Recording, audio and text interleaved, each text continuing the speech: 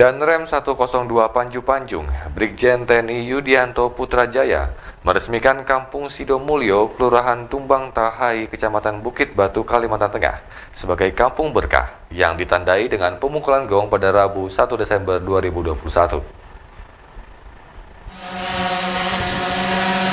Pencanangan kampung berkah yang dilakukan di Kampung Sidomulyo, Kelurahan Tumbang Tahai, Kecamatan Bukit Batu, Kalimantan Tengah, Tepatnya di sekitar halaman Masjid Al-Muhajirin tersebut pun turut dihadiri Sekretaris Daerah Provinsi Kalimantan Tengah.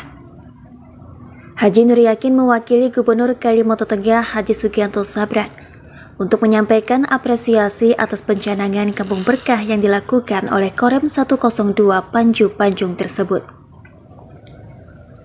Dan Rem 102 Panju Panjung Brigjen TNI Yudianto Putrajaya mengatakan, Pencanangan Kampung Berkah dilakukan di 13 kabupaten dan satu kota serta satu provinsi yang merupakan dukungan dari Korem 102 Panjung Panjung terhadap pemerintah dalam mengupayakan kesejahteraan masyarakat. Dan Rem juga mengatakan, kegiatan ini sebelumnya sudah dikomunikasikan dengan gubernur untuk bisa mengembangkan Kalimantan Tengah berkah yaitu bermartabat, elok religius, kuat amanah, dan harmonis. Kegiatan ini merupakan upaya untuk mencari solusi terkait kesejahteraan masyarakat yang ada di Kalimantan Tengah dan mempelopori usaha-usaha masyarakat di wilayah tanggung jawabnya. Terima kasih Bismillahirrahmanirrahim ya. Hari ini Rabu 1 Desember 2021 pencanangan Kampung Berkah di 13 kabupaten dan satu kota plus satu provinsi. Ya. Saya selaku Danrem 13 102 Panju Panjung ya, saya sebagai Danrem 102 Panju Panjung di sini. Sebelumnya memang Intan berkomunikasi dengan Bapak Gubernur untuk saya mengembangkan berkah ini ya. Berkah itu adalah bermartabat, elok, religius, uh, kuat, amanah dan harmonis.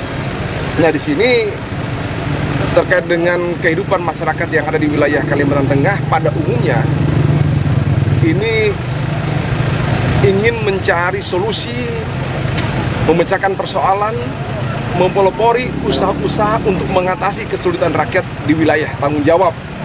Saya perintahkan pada jajaran kodim yang ada di wilayah ini untuk betul-betul mengetahui apa kesulitan rakyat sehingga kita bisa berbuat tepat sasaran yang ujung-ujungnya adalah meningkatkan kesejahteraan masyarakat. Dikaitkan dengan kemarin kita banjir, inilah kesempatan kita untuk normalisasi perekonomian. Tetapi memang tidak bisa instan, tetapi berkesinambungan dan kita kebetulan di sini ada Bapak Sekda, ada juga perbankan di sini ada Mandiri, ada BRI. Ini harus bertanggung jawab kita bagaimana meningkatkan kehidupan masyarakat yang ada di sini.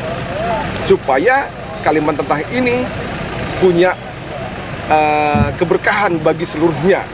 Untuk apa? Untuk pembangunan dan keberadaan TNI Angkatan Darat khususnya Korem 102 Panjung Panjung ini adalah mendukung penuh pemerintah daerah dalam meningkatkan kesejahteraan masyarakat di wilayah. Terima kasih. Pada kesempatan itu juga Sekretaris Daerah Provinsi Kalimantan Tengah Haji Nur Yakin mengapresiasi atas inovasi kreativitas yang dilakukan oleh Korem 102 Panju Panjung yang seiring sejalan dengan visi misi Gubernur dan Wakil Gubernur Kalimantan Tengah yaitu Kalimantan Tengah makin berkah. Sekretaris daerah itu berharap program ini dapat berdampak terhadap kesejahteraan masyarakat yang ada di Kalimantan Tengah. Kami dari pemerintah Provinsi Kalimantan Tengah Tadi Pak Gubernur menitip salam hormat pada Pak Danrem karena bagaimanapun juga inovasi kreativitas yang dilakukan oleh Komandan Korem Setor Bupati Bandung ini seiring sejalan dengan visi misi Gubernur dan Wakil Gubernur yaitu Bateng makin berkah. Jadi kita berharap bahwa program ini tentunya akan berdampak terhadap kesejahteraan masyarakat. Kita mengetahui bahwa Kalimantan Tengah masuk ke Pulau Jawa, tetapi harus diolah, harus disinergikan dengan berbagai komponen sehingga sumber daya alam yang melimpah, tanah yang banyak ini bisa menjadi keberkahan bagi kita. tinggal kita mengelola bagaimana memanage semua stakeholder yang ada bersinergi. Katakanlah misalnya daerah A kampung ini kreativitas UMKM-nya bagus nah itu kita bina dari dinas koperasi dan perindak kalau di daerah ini budayanya atau kultur tanahnya cocok di bidang pertanian peternakan maka kita akan menerjunkan tim kita dari pertanian dan peternakan untuk bisa mengedukasi bisa memberi bantuan bisa memberi pelatihan sehingga masyarakat nanti berdampak pada kesejahteraannya. Walaupun kita ketahui saat ini COVID masih melanda ada varian terbaru lagi, tetapi jangan mengecilkan hati kita. Tentunya kalau kita bisa kompak, tentunya keberkahan itu akan. Dari kota Palangkaraya, Farduari Reketno melaporkan.